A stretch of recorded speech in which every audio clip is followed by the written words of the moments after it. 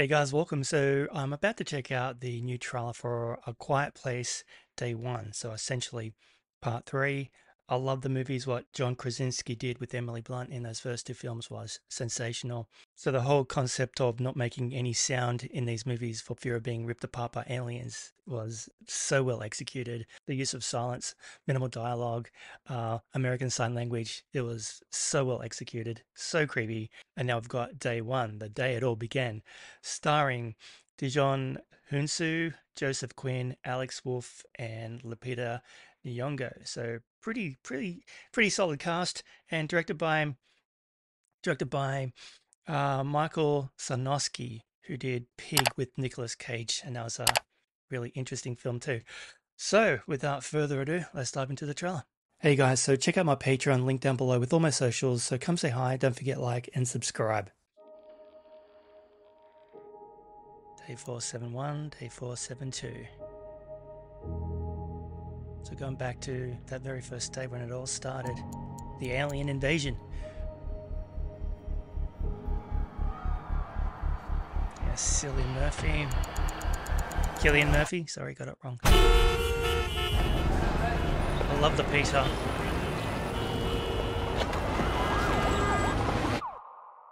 Such an amazing actress. Okay.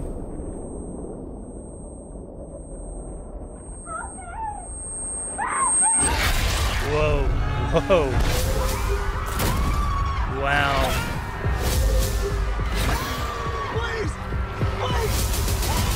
Holy shit.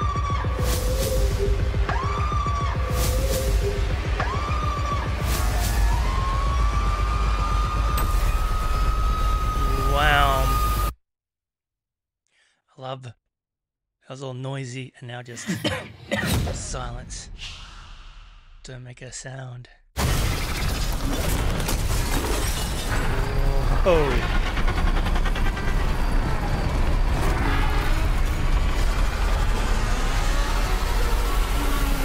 Ah, damn.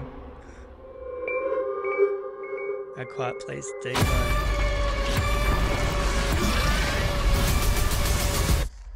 Shh. Oh, sick. Platinum Dunes. All right. That was um that looks amazing. Obviously showing that day one invasion the day they arrived, you're to go for some epic carnage because I didn't really cover that too much in the first film.